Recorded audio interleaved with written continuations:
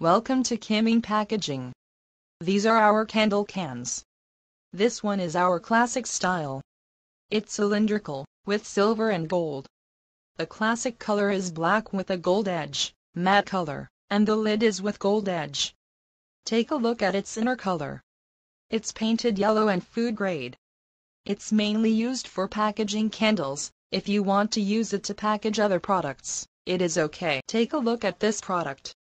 This product is also cylindrical, but the bottom is oval. The design of the cover is easy to open and close.